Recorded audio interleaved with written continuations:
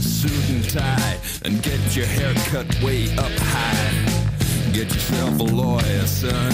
You're gonna need a real good one. All the good lawyers, all the time here on ABC Radio Melbourne Mornings because Mr. David Whiting has taken a day off and look, he's earned it. He works really, really hard whenever he comes here and talks to you. So we got one in off the bench. And we got a real good one.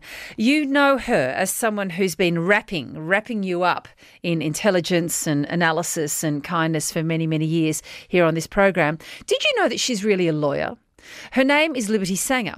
She's the national head of the Personal Injuries Law Division at Maurice Blackburn, also a member of the Law Institute of Victoria's accredited specialist in personal injuries law. And Liberty Sanger, good morning. Hi, Virginia. Liberty is here to take your calls and to offer you legal advice on matters, any matters related to the workplace personal injuries law, injuries in the workplace, bullying, harassment, HR problems, workplace problems of any kind. And if you wanted to actually talk to her about other stuff too, well, you know, she's going to give that a real crack too. Liberty, you've got the lot, haven't you? I do. That's quite a big pitch, but um, it is a big pitch. You know, this is what we do as lawyers. Uh, as people know from talking to David, people ask you all sorts of questions. They do. And often it's about, believe it or not, it's about applying common sense. But there are legal frameworks that we work our way through Uh, uh, to sorry, get to the end. Hold that. I'm sorry. Applying the law is about common sense. Well, Do, do I look like I just came down in the last shower? you would be surprised. In fact, you wouldn't be surprised. You've been talking to David for a long time. Yes. How few matters it makes sense to take into a courtroom Hmm. and how few matters it makes sense to engage a lawyer. But often what you need is a circuit breaker. You need someone to mediate between the parties. Hmm. And we're very fortunate here in Australia and particularly here in Victoria. We have lots of agencies that will provide that service to us. We invest in that with our taxes so that we've got ombudsmen and we've got Yes. um, commissions and the like that will provide that service. So, uh, so often you can get that without paying money, um, but where you need to take it further, you'll need to get a lawyer. It's something that I've turned my mind to recently when I had another crack at updating a book I wrote some time ago. And it was really disheartening to hear that when it came to workplace conflict, bullying, sexual harassment, discrimination, and the like, and we're not just talking about that today, it's any aspect of workplace law or indeed personal injury law. You're most welcome to call in and please do 1300 222 774. But when it came to taking your problems to HR, this was the phrase that I was told over and over again HR is not your friend. This is a really big topic and an interesting topic. It's true, isn't it? HR's not your friend. Well, it's it's not true, but it can be true. Um, so- That's a dreadful answer. Well, because there are plenty of good people in HR, so I don't want to discredit that profession. However, when it comes to an issue like sexual harassment, I don't think our workplaces have dealt with it at all well. And often, Let, us broaden that out and ma- just make it bullying as well, not just sexual harassment, because uh, half the audience will think, oh, well, that doesn't concern me. But bullying or being mistreated in your workplace or thinking you get a rough deal, being uh, treated badly, disrespected by your boss, asked to work, Yep. uh, unfair conditions and the like, go to HR, you're not going to get much joy. there is no getting around that HR is employed by the employer. And the employer's interests Ta-da. are going to be paramount. Yeah. There is just no getting around They're there that. to protect their interests. And um, we made the point at the beginning of the program here as a lawyer. I'm a lawyer from a law firm that provides access to justice. I'm always going to advise people that this is why they need someone independent on their side. I would always encourage people to be a member of a union. And if they're not in in a union, they certainly might need legal representation to assist them through that. Um, but uh, the broader point is how do we make sure in our workplaces we are all acting and behaving in a way that is respectful uh, so that we don't need to call on HR at those moments of crisis. In my experience, people only go to HR when things are really, really bad.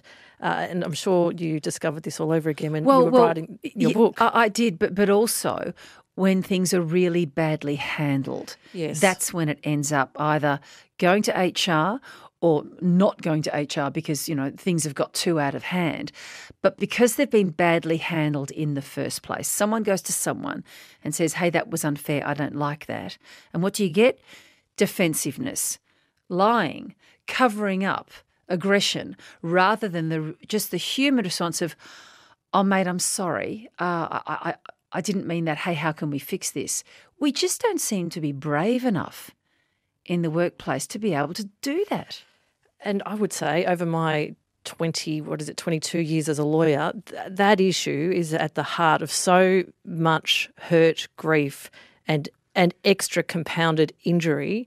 The lack of the simple initial Correct. apology. Correct. Uh, because people feel like their experience is diminished, devalued. They feel like their loyal years of service are not going rewarded and, and recognised. Uh, and that of itself causes harm. The, the, the very smart, capable uh, leaders understand this and will get on the front foot and make sure that they uh, provide that apology uh, at an early point. But there are so few who understand that that is, in fact, the best way to respond. They default to an old style of uh, legal, which is to defend, um, uh, minimise, prevent, Never admit liability. and never admit liability. That's because uh, you guys, dear Liberty, are in the ears of the bosses saying, oh, you got a liability here, n- never admit, never apologise. Then we're going to get a claim for compensation because you just admitted liability by apologising. Yeah, and it's become, uh, I would suggest, a habit in our profession and one that is worthy of uh, disruption because I've had workers sign what's called a release, which is just the, the document which evidences the agreement at the end of a claim.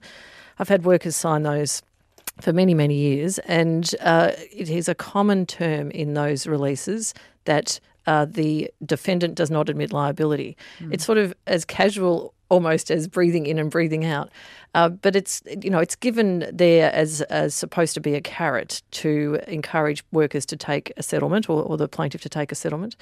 Uh, but in fact, I think it's quite meaningless, and I think that all of the current understanding about how you repair harm, uh, particularly mental harm to a person, would be that you should make that admission.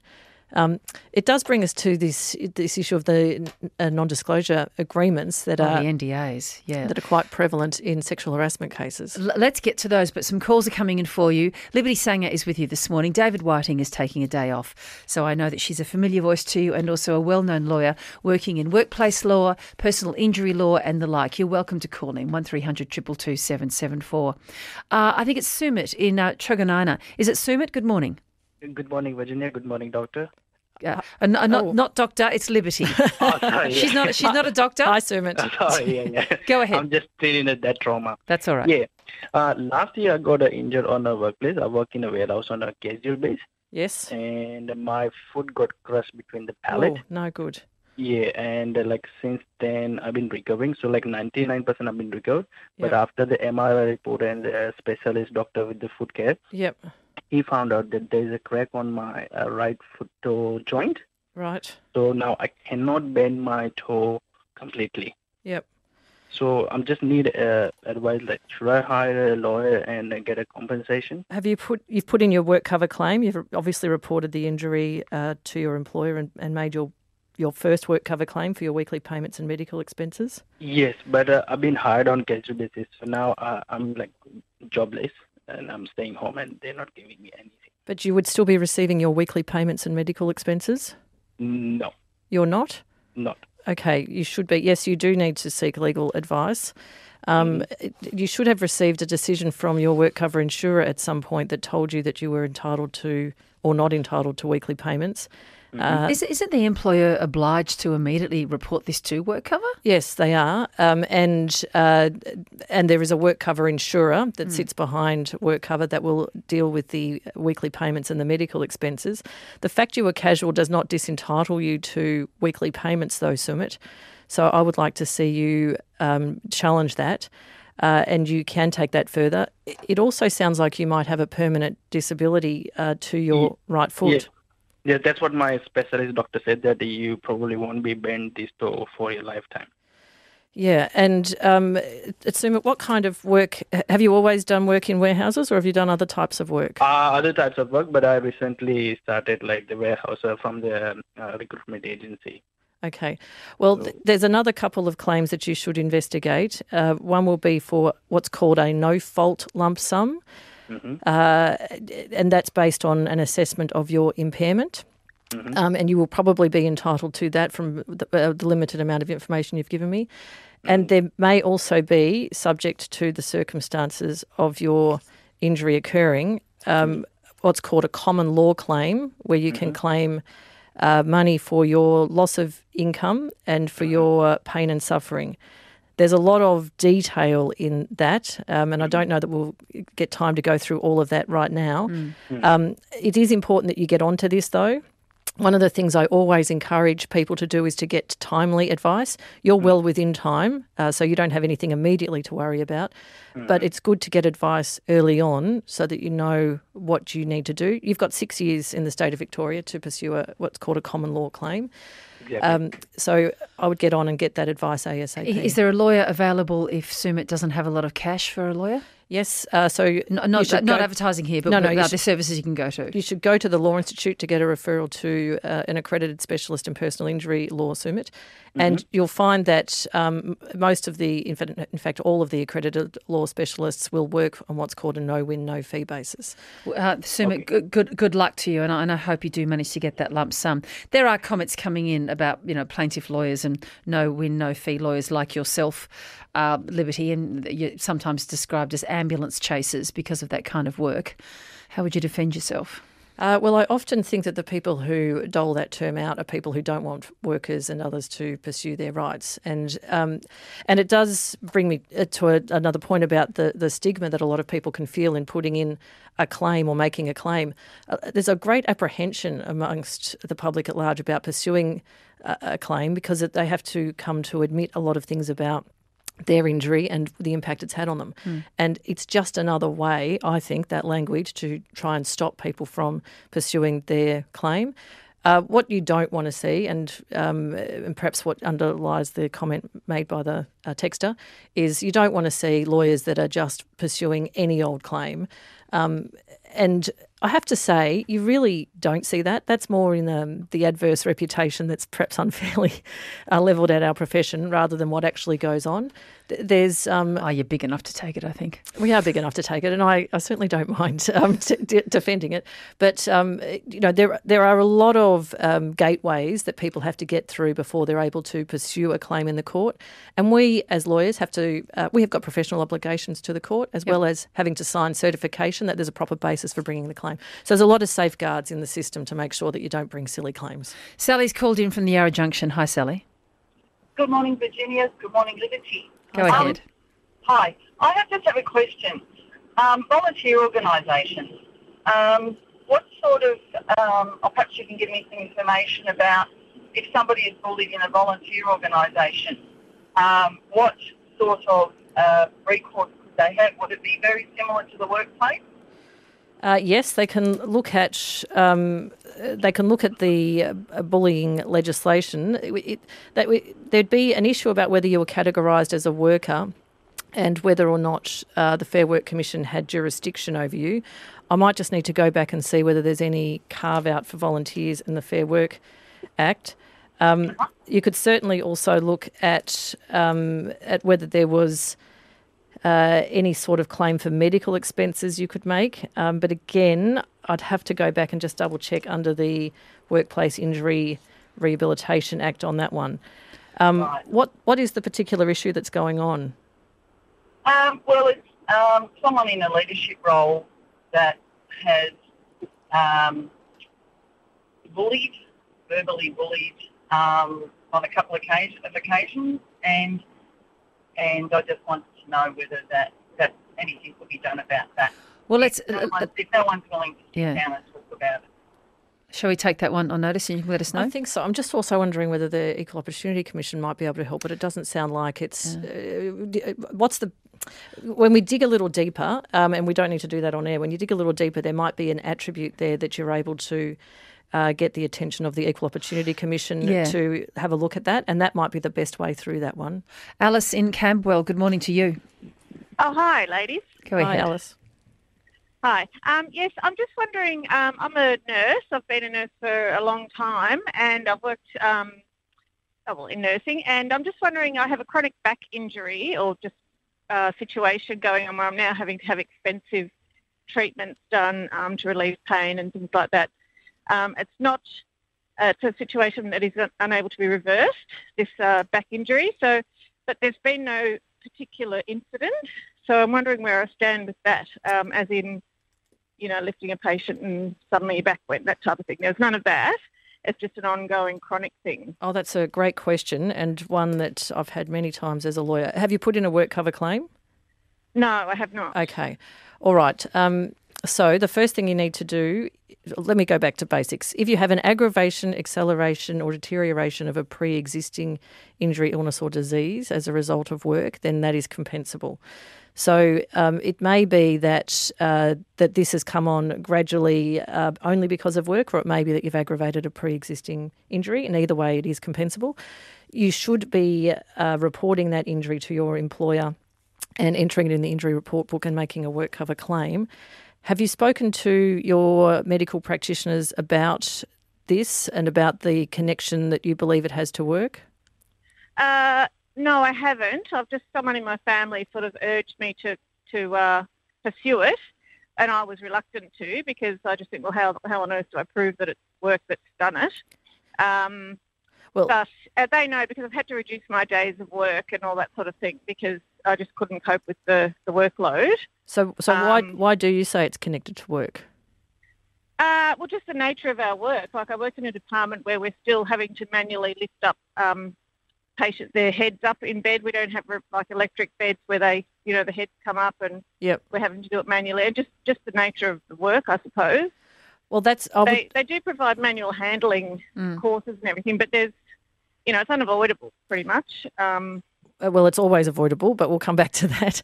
Um, my Yeah. strong suggestion is that you go and talk to your medical practitioners ASAP about uh, what's happened and the kind of work you're doing and ask their opinion on whether it's likely that that's been uh, the cause of your increasing pain.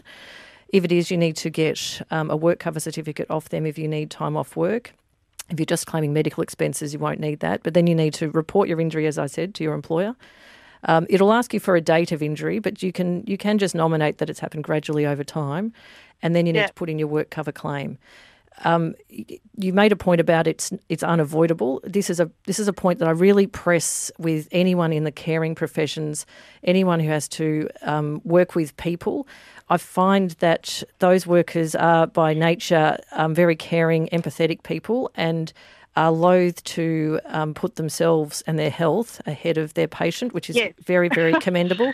But, but if you were to think about if you were in a factory environment or a warehouse and you were being asked to manoeuvre 80 plus kilo unpredictable weights Yes. on a regular basis, you just wouldn't do it. Yeah. Um, And the truth is, as you have um, already said in your answer, there are ways that your employer could provide you with machinery that would assist with these lifts and the like.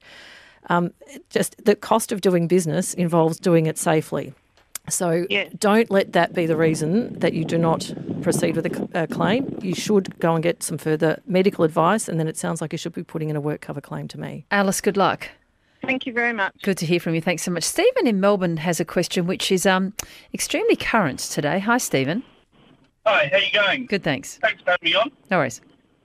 Um, look, uh, my work brings me in, in contact with uh, all members of the community.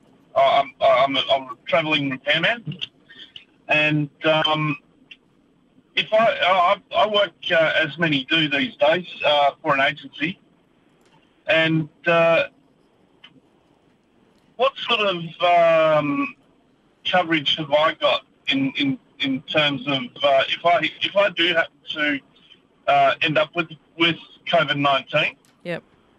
Uh, and I'm I'm laid off work. Well, obviously, as an agency uh, worker, um, I don't get paid. So you're an employee of an agency? I am. Okay.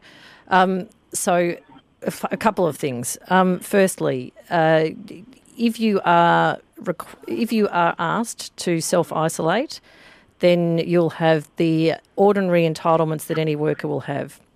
Um, so, by right, we've got access to sick leave, and we can talk to our employers about using any other accrued entitlements. Um, as a as a kind of a sidebar here and using my practical head, uh, I think we're going to hear a lot more about what the government might provide uh, for workers in this situation, as, as well as to employers. And um, I would also encourage employers to take a common sense approach because we are going to find that there are workers who either don't have any sick leave left um, or are not able for whatever other reason to access accrued entitlements. But as of right, that, that's what you can access. Um, Well, uh, yeah, Sorry? no, that, that, that's interesting um, because, uh, Yes. uh, to my understanding, as per our work agreement, the, the, the, one, the one that I work under, um, we have no entitlement to sick leave. you're an employee though. I, I, I, am I am a uh, I am an employee. I don't want to say what company it's with. Um, it's public space. Um, uh, but uh, I, I work on contract for a third a third party. Well, I would encourage you to go back and check your uh, EBA or award or contract for the entitlement around sick leave. If you've got some questions about that, you can always get in touch with the Fair Work Commission. If you're a member of a union, you get in touch with your union uh, to find out what you're entitled to. And I would stay tuned about what uh, what compensation the federal government may be willing to offer. It, it sounds like there's a lot of discussion going on between unions and employers with the government at the moment. You are not going to be the only person in this situation. And the challenge, as we heard from Sally McManus on the weekend, is how are workers supposed to stay home Yeah. from work if they're not going to get paid? Uh, they're going to have to pay the bills. So someone is going to have to pick up the tab somewhere. Exactly right. You got the Prime Minister talking to businesses, wanting them to be, this is the phrase he used, generous about that. But that's where you need entitlements. So no one actually has to make the decision about whether they're being, or the assessment about whether they're being generous or not. Lots of comments on text. Morning, Virginia and Liberty. Perhaps just note that insurance contracts usually prevent admission of liability to any extent. If you do, the insurer will often deny coverage. And that's off- obviously very difficult, says Richard. And this on text, oh my God, this is exactly what I've just gone through, which is taking a matter to HR and getting knocked back. Went to head office HR, a total brush off. I'm now in spiralling depression. Let's get a, a quick advice, if we can, for uh, Anne, who's in Rye. Hello, Anne. Hello, how are you? Good, thanks. Go ahead. Um, my husband's been through the work cover uh, process, as we call it. Um, Yes. He went to the psychiatrist and psychologist because it was a mental thing. Um, he got denied on payment of wages, but they pay for his medicine and a psychologist, but they won't pay for a psychiatrist. And I wonder how one thing gets knocked back and other things don't. So I'm with the insurance company now, and I'm. I went through an appeal. You know, I, I obviously don't know what I'm doing, but they've admitted liability on some counts, but not on others. Well, um, I won't try and get into the mind of an insurer, but uh, often what happens is that they base it on uh, medical evidence. So, presumably, when your husband uh, put forward his claim, he had either a GP or a psychologist or a psychiatrist report saying he needed particular treatment. Um, the insurer probably had a different report from their own expert. And then uh, Some of these people are followed by private detectives. and we should talk about that. But yes, that is right. And um, there's often complaints about uh, the way that workers are treated by some of the independent Yeah. doctors. And and those complaints are very valid and they, they need to be investigated. And I believe WorkSafe is taking those complaints very seriously. Um, but, and you can always dispute an, a decision of an insurer. So uh, this is another big piece of advice I give to all workers is that you mustn't just accept a decision of the insurer. If you think that you need a particular entitlement, there's a free disputation process. It's called the Accident Compensation Conciliation Process. You can't have a lawyer there, but you can have uh, an organisation called Work Cover Assist there or Union Assist there if you're a member of a union, or you can have a union representative there. And that's where you sit down with the insurer and you try and resolve that matter. If it can't be resolved, then it can be taken to court, and that's where you will need to get legal advice. Um, but if your husband's not getting wages and he's been restricted in the amount of medical treatment he can have, and you think that he does need further medical treatment at a minimum, he should be getting uh, some advice about that. Okay. Well, I find it strange because like it's four years worth of medicine, four years worth of doctors. Like everything else gets paid for, but not his wage. I just find that I don't understand how it works. Has have you been to see a lawyer about this? Trying to, yeah. Okay, to. we'll, we'll persist with that. And as I Yeah. said, go back to the Law Institute for a referral to a, an accredited specialist near you to get that expert advice. Liberty, great to have you on board. So many calls for you. I'm sorry we can get, couldn't get through all of them, but there you go. A lot of problems out there in the workplace. There are. Thanks, As I guess you know. I Always do. good to see you. Liberty Sanger there, uh, joining you from Maurice Blackburn.